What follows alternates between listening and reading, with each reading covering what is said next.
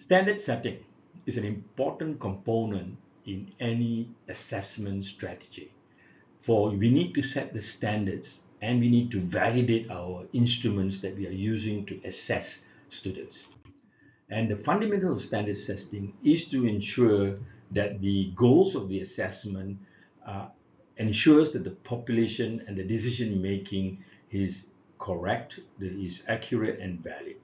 And we need to make sure that the standards that we choose, the methods that we use uh, on the assessment is pragmatic, uh, based on the resources available and the stakeholder requirement.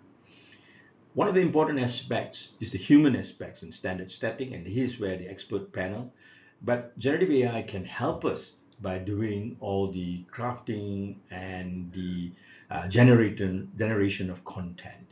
And so the expert panel is there to validate that content through a process of consensus development and iterative process to improve. So standard setting is a very important human component towards the integration of generative AI into assessment.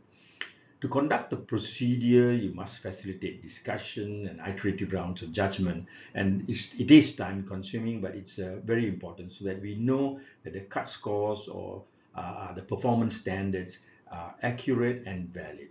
And the whole process needs to be documented and validated in the event of challenge, legal challenges on outcomes from assessment. So these are the various common standard setting methods. The Angoff method is well uh, uh, documented.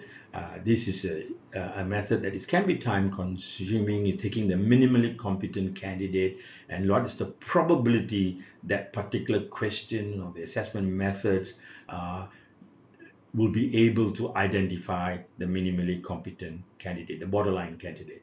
The bookmark method is to use experts to judge and say, okay, this one is a difficult question, this one is a moderately difficult question, this is an easy question, and then making sure you're, there's a good spread of that in the exam. The body of work method, again, using expert review panels to set the examinee's work and sort them into various performance categories. That means it's a historical works, and then from which you uh, um, provide the descriptive uh, uh, values based on that. And generative AI can help you get these descriptions by based on, say, you have five sets that are good answers that you want to give a grade uh, A, you can put the five sets of answers into generative and ask it to create the rubrics for that. And so that's in a way a form of standard setting. The Angoff, uh, method is basically having a panel who are oriented and briefed from this methodology. Not all faculty know this. And then they start reviewing the items. Uh, it's a very painful, I've been through it. It's a, but it's necessary to set standards to be robust to withstand any challenges uh, in the event of untoward events. And it requires a group discussion. And again, here's where generative AI can help the group to craft uh, various responses and descriptors when we're doing the grading with the uh, Angoff method. And it allows for iterative runs and then from which you can then take the probabilities, submit them, and again, Gen AI can help to calculate the cutoff marks, uh, cutoff score for pass and fail. Psychometric validation of the various exam questions and exam methods that you're using is for the purpose of quality assurance. This is very, very important, especially in summative exam, which are high-stake exam, where if a candidate fails and challenges you in a court of law, you must be able to show reliability, validity, and every item analysis, and it must be fair. And this is a very complex procedure, usually in the role of a psychometrician, but you must be able to familiarize yourself with it. There's a classical test theory and an items uh, response theory. Uh, so these are the various approaches that you will take based on true scores of each of the tests and uh, look at the statistics and it's very quantitative in nature and sample uh, dependent. Item response theory is based on individual item characteristic curve.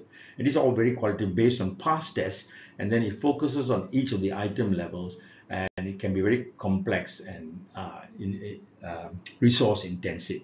Uh, so this is one method. The other is the validity uh, types and evidence. So what are the validity of the construct? This is a bit more uh, uh, dependent on the experts. You can do the content validity, construct validity, criterion related validity. And this is where reference, criterion reference assessments uh, for high stake exams is very important. And you need to make sure they are all valid. And the validity is performed through the use of expert review panel. And consequential validity is to look at what are the intended or unintended consequences. Sometimes the questions are vague and this uh, can be done and may have to be removed and in, in the computation of the assessment grade this has to be taken into account. Item response theory models, uh, these are the various models. Uh, uh, just for completeness, I'm putting them there, and some of them are difficult discriminations. Uh, parameters needs to be put into that so they can know what's the level of dif difficulty, and it needs to have uh, the sufficient levels of difficulty in the whole exam, especially in summative, are important from easy to difficult. Uh, differential item uh, functioning analysis is to identify specific demographic groups of interest. That means to see whether certain groups are being uh, adequately evaluated. Uh, this is a bit complicated. Again, uses statistical analysis and uh, you can from which remove certain items that are troublesome from your exam. Uh, now, integrating standard setting and psychometric validation is an important part of the assessment strategy in any education program. Uh, and it requires adequate documentation and it needs to be revisited often for monitoring and evaluation. This is an important aspect, especially in today's uh, litigation uh, prone environment in the event if a student is not happy with the outcomes and you, if you do not have the evidence that you have had standard setting and psychometric validation of your assessment uh, tools and uh, questions, uh, you will be challenged in